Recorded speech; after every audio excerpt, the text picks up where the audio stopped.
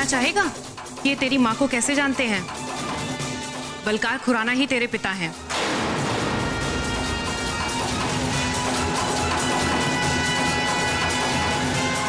रुद्र रुक जा बेटा! मासी जी हटिए! रुद्र तुझे मेरी कसम! मासी जी मैं कह रहा हूँ मेरे रास्ते से रुद्र तुझे तेरी माँ की यादों की कसम! चल बेटा।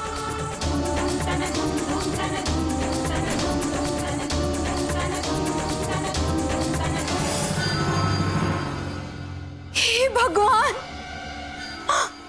ये क्या हो गया मेरे साथ?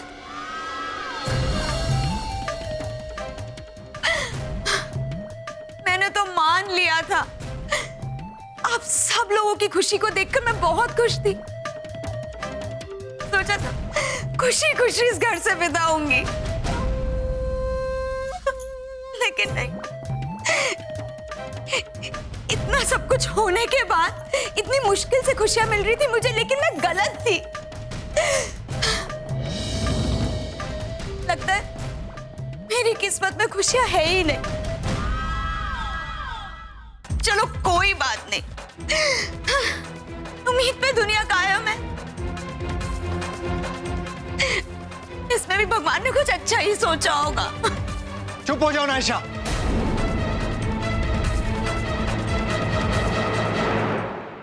डैड, क्या ये सच है? क्या रुद्र सच में आपका बेटा है?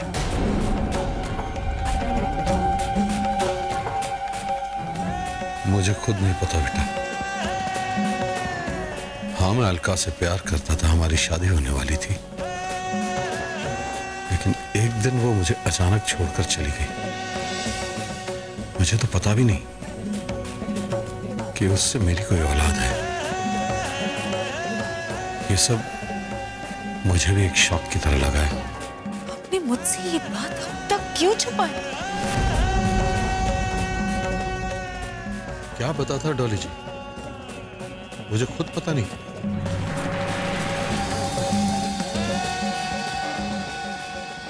अलका मेरा अतीत था। अंकल जी? आंटी जी की तो सोचिए।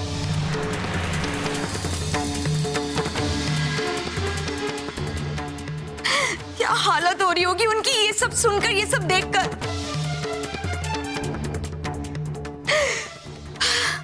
हे भगवान, पता नहीं क्या हो गया इस घर को। किसकी नज़र लग गई है? मुझसे तो ना, अब एक पल भी खड़ा नहीं रहा जाएगा इस घर। रुक जाओ नायशा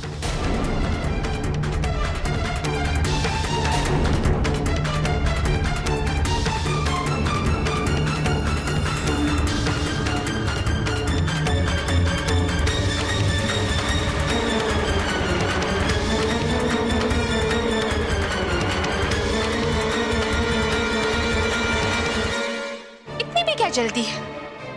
आराम से जाना। मैंने तुम्हारे लिए पूरे बैंड बाजे का इंतज़ाम किया है। पूरे थाम से तुम्हारी इस घर से विदाई होगी। आस्था, क्यों जले पर नमक छिड़क रही हो? हाँ क्यों मेरा मज़ाक उड़ा रही हो ऐसे?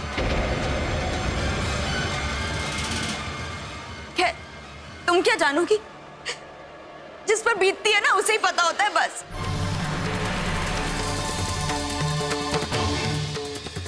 बोल दो। बोल दो, ये सगाई मेरी वजह से टूटी है। बोल दो, ये सब कुछ जो हुआ है, वो सिर्फ़ मेरी वजह से हुआ है। बोल दो बोल दो कि मैं अपशगुनी हूँ।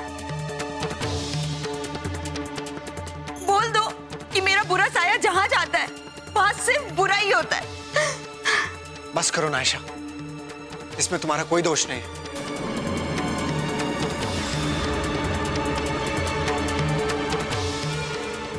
है तुम्हें दोष नहीं लगता तो क्या?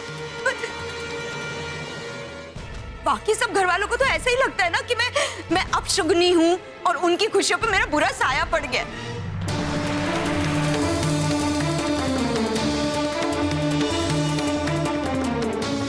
पर सच मानो करण मैं ना दिन रात सिर्फ़ इनकी खुशियों की दुआ मांगती हूँ। अरे मैं तो चाहती हूँ कि मेरी हिस्से की खुशियाँ भी ना इनको ही मिल जाए। ऐसी दवाई नहीं मांगते ना आयशा जरा ध्यान से। कई बार गलती से मांगी हुई दुआएँ भी पूरी हो जाती है। मैं आप सबको किसी से मिलवाना चाहती हूँ। उसे आप जानते हैं? पर शायद ठीक से पहचानते नहीं।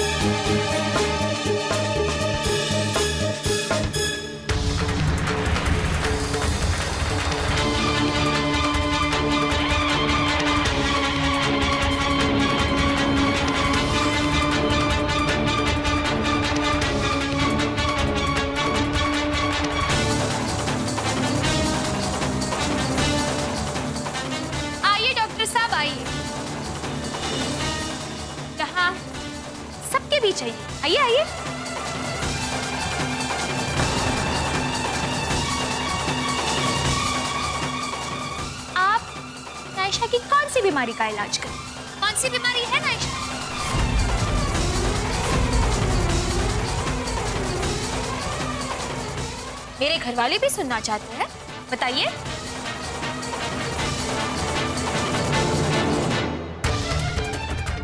बताइए, सब सुनना चाहते हैं।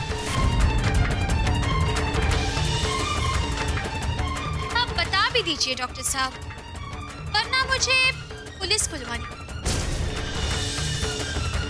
और आपको जेल की हवा भी खानी पड़ सकती है। बता रहे हैं कि बुलाऊं पुलिस को। नहीं मैडम प्लीज़ पुलिस को मत बुलाइए। मैं बता रहा हूँ, बता रहा हूँ।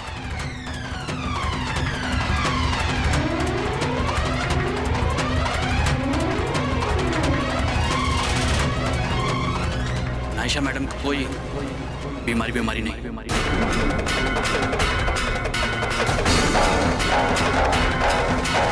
क्या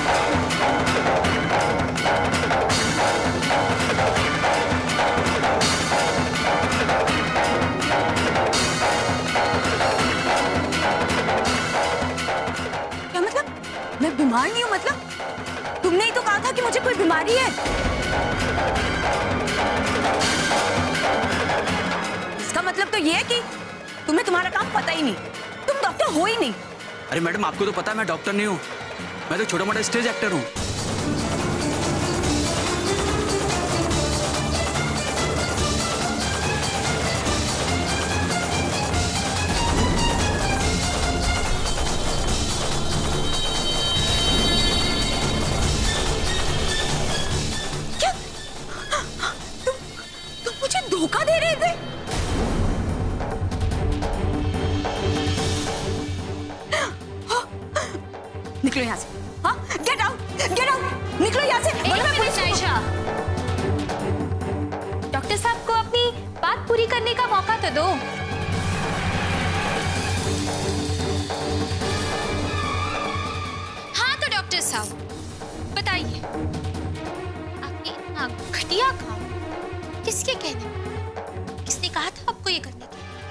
नायशा मैडम के कहने पर।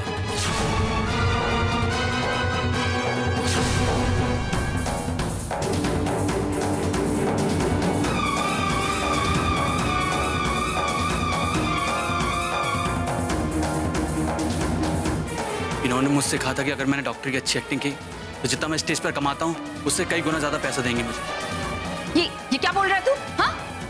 ज़रूर आस्था ने तुझे पैसे दिए ना ये सब बोलने के लिए।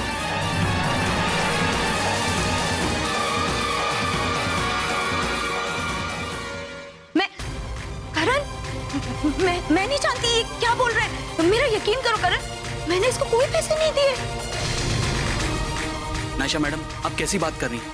आपने मुझे पैसे दिए थे तभी तो मैंने एक काम किया है वरना मैं काम कभी नहीं करता।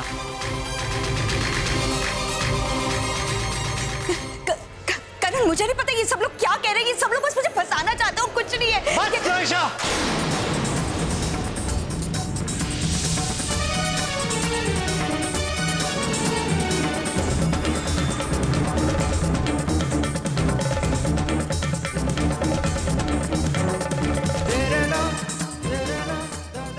नौटंकी चल निकल।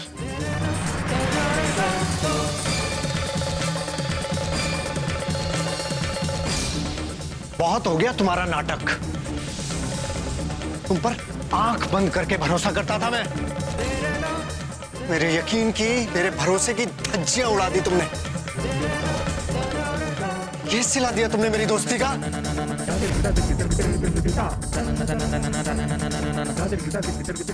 ये तो तेरी दोस्ती के काबिल कभी थे ही नहीं।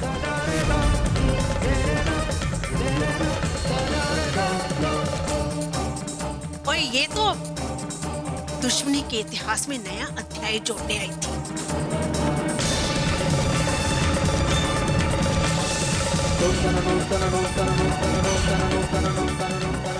इसको तो घर में रखना ऐसे है जैसे आस्तीन का सांप पालना। ना जाने कब किसको डस दे ये। इसे तो अभी इसी समय घर से बाहर निकाल दो। मुझे घर से बाहर निकालना है ना? तो निकाल दो। निकाल दो। लेकिन प्लीज़ प्लीज़ मुझ पे ऐसा झूठा इल्ज़ाम मत लगाओ प्लीज़ मैंने मैंने कभी इस घर का बुरा नहीं चाहा। माना कि मुझसे गलतियाँ हुई है, लेकिन मेरा इरादा किसी को किसी को दुख या तकलीफ़ पहुंचाना नहीं था। ये सब मैंने सिर्फ़ इसलिए किया क्योंकि मैं करण को नहीं भुला पाई थी। आस्था पुत्र देख क्या रही है। झूठ के इस बंडल को धक्के मार मार के घर से बाहर निकाल दे।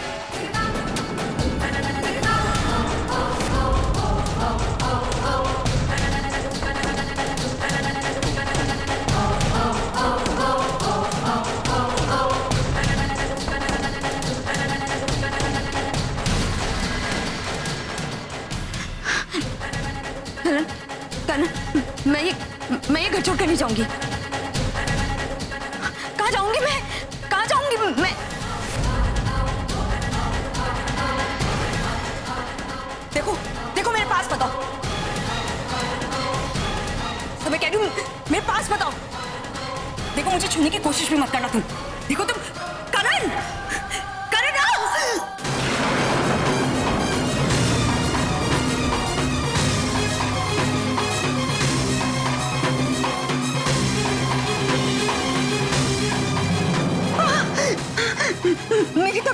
रही है मुझे चक्कर आ रहे करण करण प्लीज़ करण तो करण करण प्लीज़ मेरा यकीन करो, करण।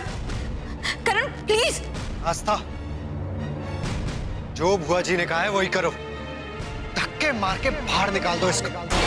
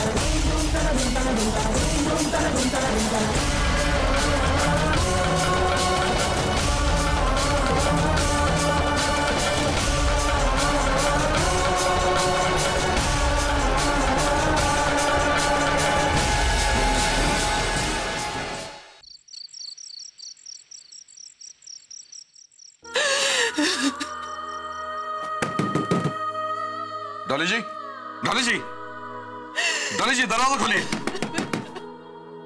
डॉली जी आपको मेरी कसम दरवाज़ा खोलिए प्लीज़ डॉली जी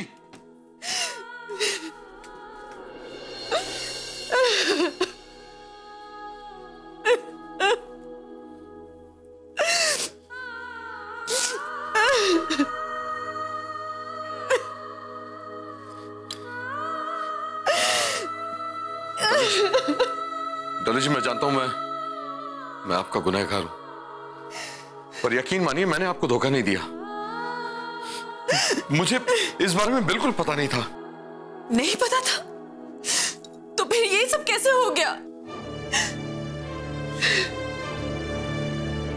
डॉली जी ये उस समय की बात है जब आपकी और हमारी शादी नहीं हुई थी। मैं और अलका एक दूसरे से बहुत प्यार करते थे शादी करना चाहते थे।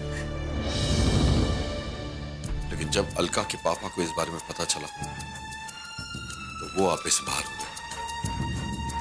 उन्होंने हमारा मिलना जुलना बंद कर दिया। वो किसी कीमत पर इस शादी के लिए तैयार नहीं थे। फिर एक दिन मुझे पता चला, अलका शहर छोड़कर चली गई है। मैंने उसे ढूँढने की बहुत कोशिश की, पर कहीं पता नहीं लगा। मुझे लगा शायद उसने मुझे धोखा दिया शायद वो अपने पापा की बातों में आ गई है। मुझे बिल्कुल पता नहीं था कि वो मेरे बच्चे की माँ बनने वाली थी। लेकिन डाली जी ऊपर वाला भी कैसे कैसे खेल खेलता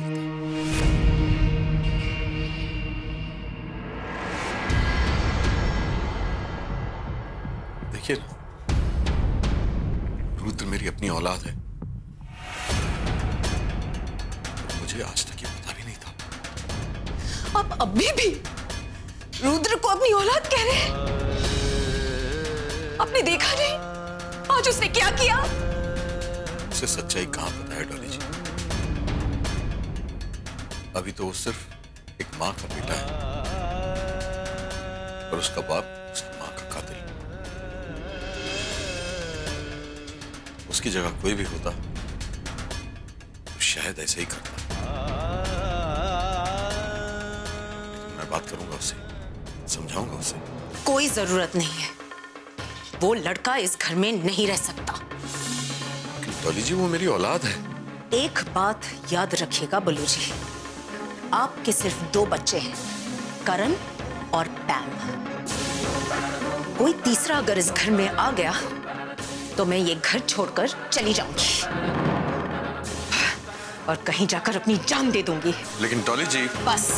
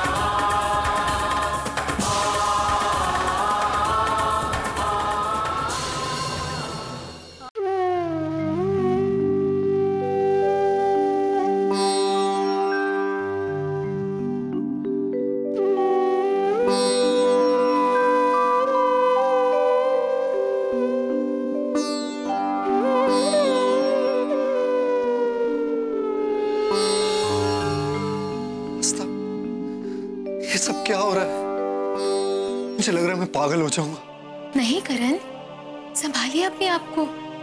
मैं हूँ ना आपके साथ। तुम तो पहले से ही मेरे साथ थी।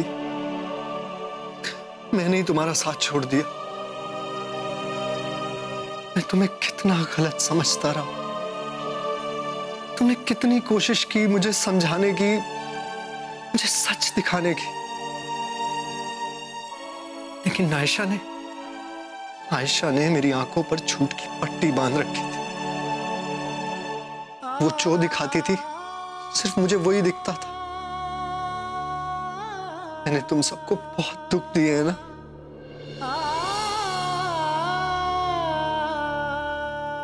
प्लीज़ मुझे माफ़ कर दो। I'm really sorry, आस्था।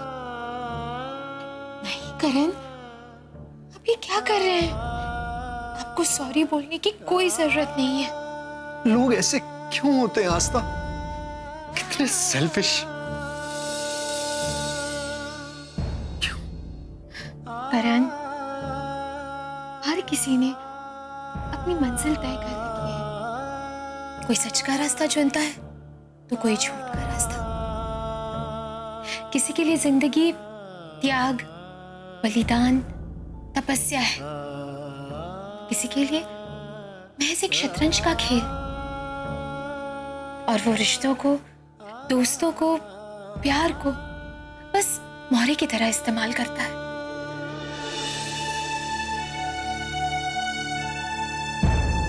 शायद आस्था तुम ठीक कह रही हो। आशा थी ऐसी। उसके लिए ज़िंदगी सिर्फ़ एक शतरंज का खेल थी। लेकिन लेकिन डैड तो ऐसे नहीं थे ना आस्था फिर वो ऐसा कैसे कर सकते हैं? कुछ बातें अनजाने में भी हो जाती हैं करण। जो कुछ भी हुआ पापा जी को कुछ पता नहीं था। जो कुछ भी हुआ अनजाने में हुआ एक हादसा था वो करण। पता नहीं आस्था अभी तो मेरा दिमाग ही काम नहीं कर रहा है। समझ ही नहीं पा रहा हूँ कि कौन सही है कौन गलत। क्या अच्छा है, क्या बुरा? पता नहीं कौन किस रूप में कब आकर खड़ा हो जाए। कुछ नहीं कह सकते। ऐसा लग रहा है कि जो दिखता है ना सिर्फ़ झूठ है। और जो सच है, वो दिखता ही नहीं। अभी आप अपसेट हैं, इसीलिए ऐसा कह रहे हैं। देखिए करण, ये हमारे लिए परीक्षा की घड़ी है। कोई भी मुसीबत हो कोई भी परेशानी हो, उसकी जड़ें कितनी भी गहरी हो, कितनी भी मज़बूत हो, हमारे विश्वास की नींव को नहीं हिला सकती। हमें हमारा विश्वास बचाए रखना होगा, करण। कई बार जिसे हम विश्वास समझकर बचाते हैं, वो रेत पे लिखा हुआ एक नाम होता है, उसे हल्की सी लहर आ जाती है।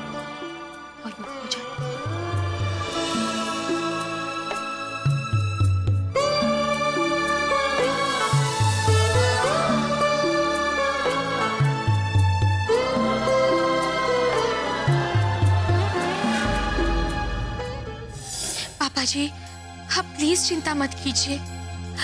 अगर आप कहें तो मैं रुद्र से बात करूँ। कोई ज़रूरत नहीं है, पुत्र। मैं नहीं चाहती कि इस घर का कोई भी सदस्य उस लड़के के साथ कोई भी रिश्ता रखे। कह दे अपने पापा जी से, मेरे जीते जी वो लड़का इस घर में नहीं आ सकता।